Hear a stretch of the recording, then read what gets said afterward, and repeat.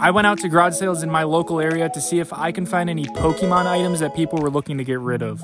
At one of the sales that I went to, the seller brought up this big box from her basement and said that she was looking to get rid of it. Inside this box was an entire lot of these vintage Pokeballs from Burger King. They were collector items back in the day, and these look like they have never been played with because they're still sealed in plastic. I asked the seller how much she was looking to get for them, and after briefly counting them up, she wanted a dollar per ball, and I ended up giving her a $100 for the entire box because there was only 24 balls inside.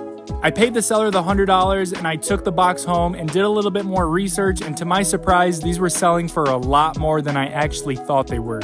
With them all being sealed, each lot of six was selling for about $200 and they were selling really frequently. Make sure you guys are going to your local garage sales because you have no idea what's hiding in somebody's basement that they've been looking to get rid of, and you can score it big just like me buying this entire box of Pokeballs.